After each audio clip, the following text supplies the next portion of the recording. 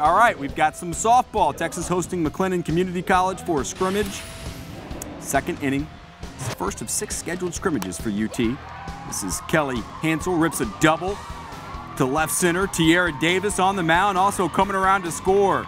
Devin Tunning, you want to come home? Come on home, Devin. Texas up 2 0. Three batters later. Hansel now on third. Two out. Stephanie Wong grounds up the middle. Look at the speed. Beats it out safe at first. Hansel scores. Horns up 3 0. Let's get to the fifth. Bottom of the fifth. Lindsey Stephens being interviewed in the dugout. Here's how she reacted to teammate Aaron Shireman's at bat. I think she's a fan. Not playing any. Oh, God! Tank!